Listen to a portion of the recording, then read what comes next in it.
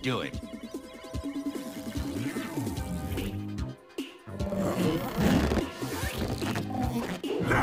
Would you please hold still?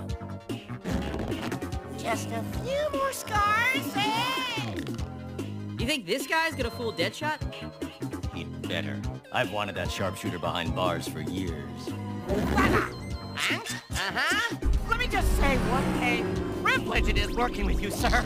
If my poor gray-haired mama back in Ashtabula can see me now, Just stay in character. what makes you think Deadshot's gonna try anything tonight?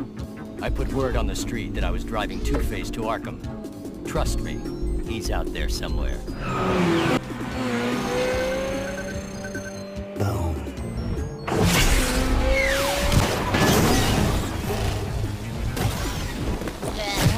Just go on without me.